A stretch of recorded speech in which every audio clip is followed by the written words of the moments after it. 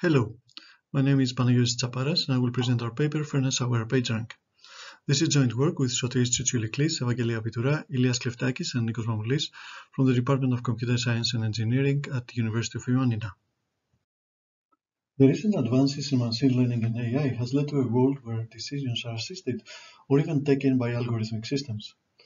The decisions of these automated systems have a widespread effect on our lives, both at a personal and a societal level. It is thus natural to ask whether these decisions are ethical and just. This has led to the emergence of the field of algorithmic fairness, where the goal is to design algorithms whose output does not depend on the protected or sensitive attributes in the data, such as gender, religion, or race. The work in algorithmic fairness has focused mostly on supervised learning tasks. In this work, we consider algorithmic fairness for network analysis, and specifically for the PageRank algorithm. Let me start by giving some definitions. First, a reminder on the PageRank algorithm. The PageRank algorithm performs a random walk with restarts. At every step of this random walk with probability 1 minus gamma, we perform a transition according to the transition probability matrix P, while with probability gamma, we restart the random walk to a randomly selected node according to a restart vector uh, V, or jump vector V. The PageRank vector is a stationary distribution of this random walk. In linear algebra terms, the PageRank vector can be written as a linear function of the jump vector, where the matrix Q in this linear function is a function of uh, the gamma, the restart probability, and the transition probability matrix P. A special case of PageRank is personalized PageRank, where the random walk always starts from the same node X. The personalized PageRank vector gives us the view of the graph according to node X and has found several applications in network analysis, for example for defining similarity or for link recommendations. There's an interesting relationship between PageRank and personalized PageRank vectors. The PageRank vector can be written as a linear combination of the personalized PageRank vectors, with the coefficients of this linear combination being the entries in the vector v, the jump vector. As a corollary, the rows of the matrix Q are actually the personalized PageRank vectors. To define PageRank fairness, we employ a commonly used notion of fairness called group fairness. We assume that the nodes of the input graph can be partitioned into two groups, the red group and the blue group, and that the red group is the protected group in the data. What we want is that the PageRank algorithm treats fairly the protected group. To formalize this idea, we say that a PageRank algorithm is phi fair for some parameter phi if it allocates phi fraction of its PageRank to the protected group. The parameter phi allows us to implement different fairness policies. For example, setting phi equal to the fraction of the red nodes in the graph, we get parity fairness. Or we can have an affirmative action policy by setting phi to some uh, fixed desired ratio. We are now ready to define the first problem we will consider. Given a graph G and a parameter phi, we want to define a phi-fair uh, PageRank algorithm on G. However, what does it mean to define a page rank algorithm? Page rank algorithm is defined by three parameters, the jump probability gamma, the jump vector V, and the transition probability matrix P. We will consider algorithms that modify the last two, the jump vector V and the transition probability matrix P. Given that much flexibility, it's not hard to see that we can design trivial and nonsensical PageRank algorithms which are actually fair. However, achieving fairness comes at a price, and the price is that we deviate from the original PageRank values, which we assume have some utility to us. We quantify this utility using a utility loss function, which given a fair PageRank vector f is defined as the sum of square distances from the original PageRank vector p. We can now define our second problem, which is to find a, to define a phi-fair PageRank algorithm, which also minimizes the utility loss. We are now ready to define our fair PageRank, PageRank algorithms. We will consider two classes of algorithms. The first class of algorithms we consider changes the jump vector v in order to achieve fairness. We call this the fairness sensitive PageRank, inspired by topic sensitive PageRank. Note that in this case we keep the transition matrix P fixed, which implies that the matrix Q is also fixed. The intuition behind this algorithm comes from the fact that we can write the PageRank vector as a linear combination of the personalized PageRank vectors, which are actually the rows of matrix Q. Therefore, the fraction of uh, weight that uh, PageRank assigns to the red group, which we call the red ratio, will, can also be written as a linear combination of the red ratio of the personalized PageRank vectors. The coefficients of this uh, linear combination are actually the entries of the uh, vector v. Therefore, adjusting these entries, we can achieve the desired uh, uh, fraction phi. Note that there are trivial ways to achieve fairness uh, by simply allocating all the jump probability to just two nodes. It's more interesting to consider the case where we also optimize utility. exploiting the fact that we can write the PageRank vector as a linear function of the jump vector, we can formulate the problem of minimizing utility loss as a convex optimization problem. We're looking for the vector v that minimizes the utility loss function subject to a set of linear constraints which essentially say that v has to be um, a distribution and that the uh, red ratio has to be equal to phi. The second class of algorithms we consider achieves fairness by modifying the transition matrix P so that it defines a fair random walk. What this means is that at each node, the probability of jumping, transitioning to uh, the red group is phi, and the transition to the blue group is 1 minus phi. This gives us a microscopic view of fairness. Each node behaves in a fair way. We can think of each node as allocating its page rank fairly between the red and the blue group. This microscopic view of fairness also results in macroscopic fairness. We can prove that local fairness will give, uh, give us uh, global fairness. It actually gives us something a little stronger, since it guarantees that we have a fairness at every step of the random walk. The simplest way to implement local fairness is the neighborhood locally fair PageRank algorithm. In this case, at each node, we transition with probability phi to her immediate red neighbors. For example, consider node x that has one red neighbor and two blue neighbors. If we have phi equal to uh, 1 half, then we will transition with probability 1 half to the red neighbor, with probability 1 half to the blue neighbors, 1 quarter each. In the case we have a node which has no neighbors of a specific group, then we allocate the corresponding probability evenly among all the nodes in the group.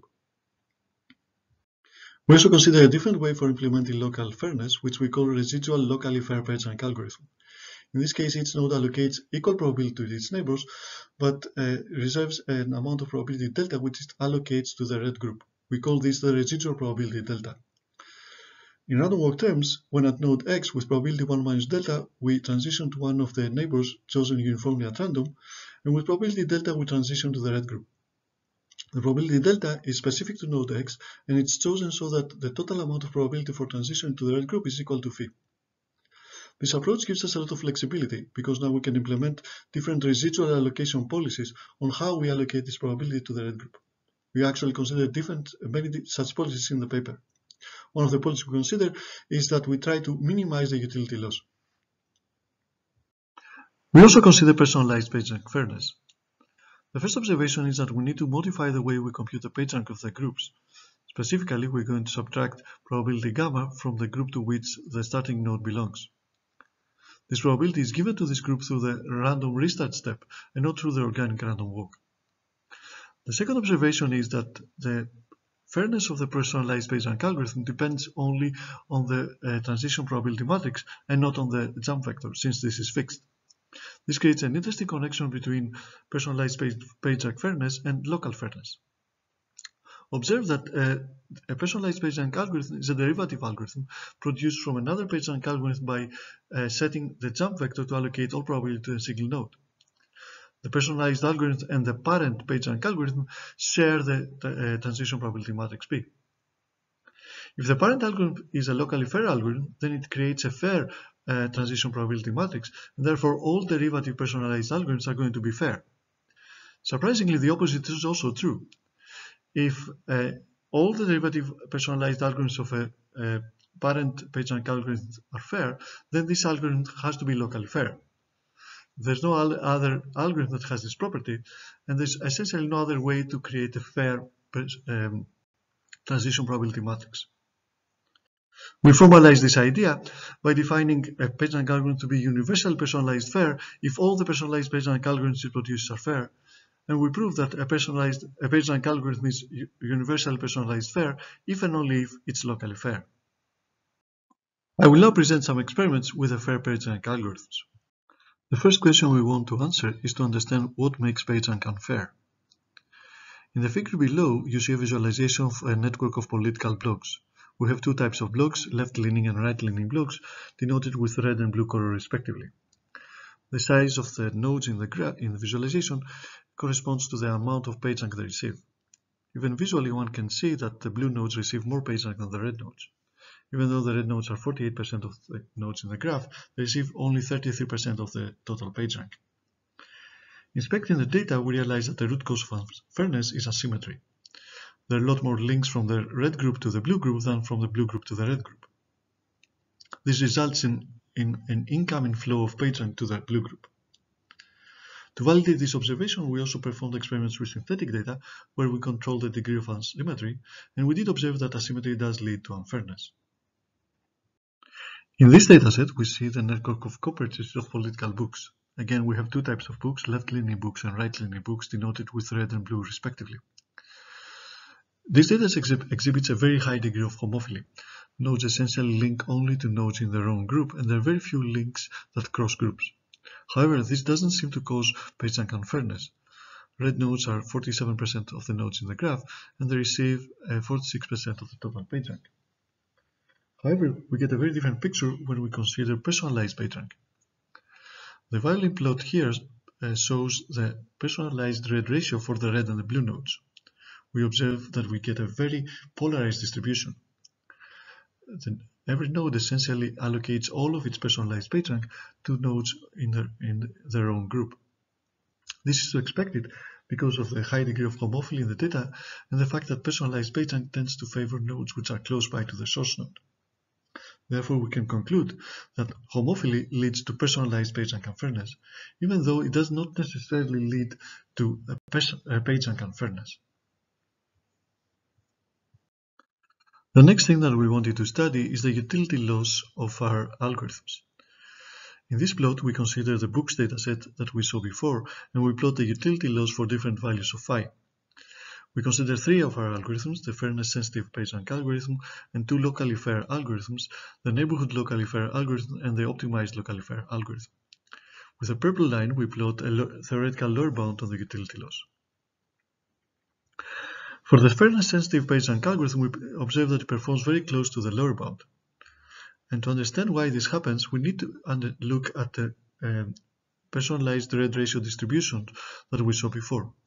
Recall that the fairness-sensitive algorithm combines these uh, red uh, personalized ratios in order to achieve a specific uh, red PageRank value having this polarized distribution is actually advantageous to the algorithm because it can has a more leeway to find the right values to combine to achieve any uh, target value phi. Therefore, we can conclude that fairness-sensitive uh, PageRank performs better in, uh, in a polarized environment. On the other hand, the neighborhood locally fair algorithm performs very poorly.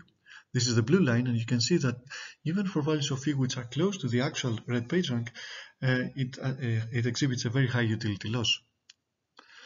This is due to the homophily in the data. Uh, and the nodes in the graph have very few neighbors of the uh, opposite group. And as a result, in order to uh, change fairness even a little, we need to make a lot of changes in the graph, and which results in a high utility loss. The residual fair algorithm is able to correct this, uh, um, this problem and actually achieves performance which is also very close to the lower bound and even better than the fairness sensitive PageRank algorithm. We get a very different picture when we look at the blogs dataset. In this case, the fairness sensitive PageRank algorithm has a very good performance for a range of values between 0.2 and 0.5, but performs very poorly and sometimes it's not even able to find the solution for values, extreme values of phi. To understand this, we need to look again at the distribution of the personalized red PageRank ratios.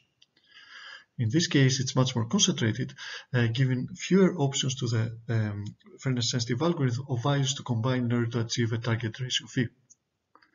Actually, there are no there are no personalized red PageRank values greater than 0.6, which explains why the fairness-sensitive algorithm is not able to uh, find a solution. On the other hand, the locally fair algorithms perform in a much more stable way for this dataset, and the residual locally fair algorithm actually achieves performance which is very close to the lower bound. It may seem a little surprising that the locally fair algorithms outperform the fairness sensitive algorithms, given that we designed it to be uh, optimal with respect to utility loss. However, we have to take into account that it is constrained uh, on how it can achieve fairness, and it is optimal only with this, under these constraints. In conclusion, in this work we consider the problem of fairness for the PageRank algorithm. We proposed two classes of fair PageRank algorithms and we studied them both theoretically and experimentally. In the future, it will be interesting to explore the effect of the parameter gamma on the uh, fairness and consider other notions of fairness that are, for example, rank aware, as well as other link analysis rank algorithms. Thank you very much for attending my talk.